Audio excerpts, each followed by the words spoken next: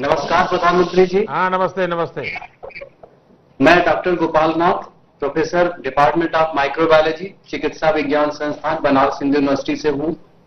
मैं कोरोना के डायग्नोसिस के लैब का इंचार्ज भी हूँ जो 16 जिलों का की ज़िम्मेदारी संभाल रहा हूँ। और साथ में ही माँ गंगा के जल से बैक्टीरियल फेजेस निकाल के जो जिस प्रॉब्लम पे मैं सवाल पूछने जा रहा हूँ उसका वैकल्पिक व्यवस्था पे रिसर्च कर रहा हूँ।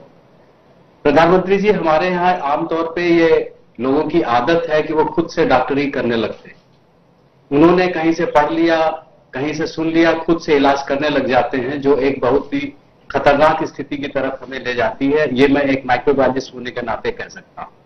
कोरोना की इस बीमारी में ये स्थिति और भयावह हो जाती है, क्योंकि हम जानते हैं कि न तो अभी वैक्सीन डेवलप हो पाया है, न ही कोई स्पेसिफिक दवा डेवलप हो पाई है।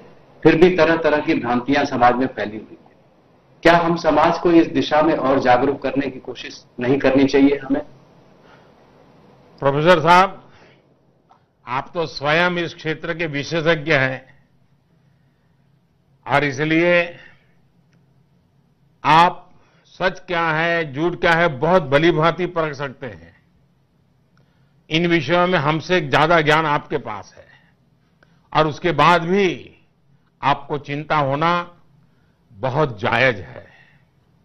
हमारे यहाँ डॉक्टरों को पूछे बिना ही सर्दी, जुकाम, बुखार की दवाएँ लेने की आदत है।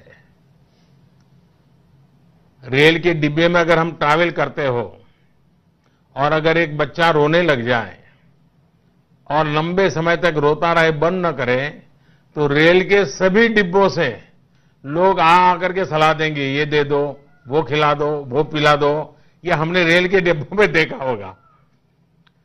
मुझे लगता है कि हमने इन आदतों से बचना है। कोरोना के संक्रमण का इलाज अपने स्तर पर बिल्कुल नहीं करना है।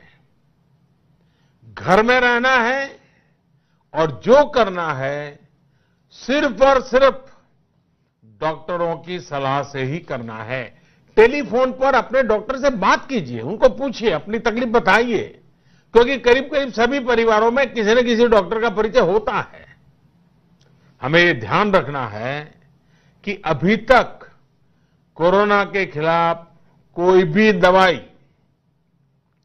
कोई भी वैक्सीन पूरी दुनिया में नहीं बनी है। इस पर हमारे देश में भी और दूसरे देशों में भी हमारे जितने साइंटिस्ट हैं, वैज्ञानिक हैं, अनुसंधान करने वाले लोग हैं, वो तेज़ी से काम कर रहे हैं, काम चल रहा है। और इसलिए मैं कहूँगा, देशवासियों, अगर आपको कोई भी किसी प्रकार की दवाई का सुझाव दे, कृपा करके अपने डॉक्टर से पहले बात कीजिए। सिर्फ़ डॉक्टरों से सलाह लेने के बाद ही आप दवाइयाँ लें।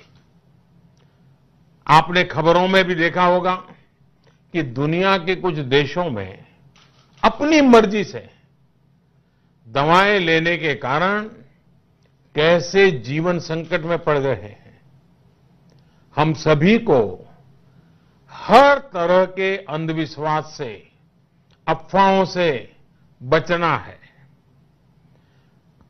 डॉक्टर गोपाल जी, मैं आपका आभारी हूँ क्योंकि आप तो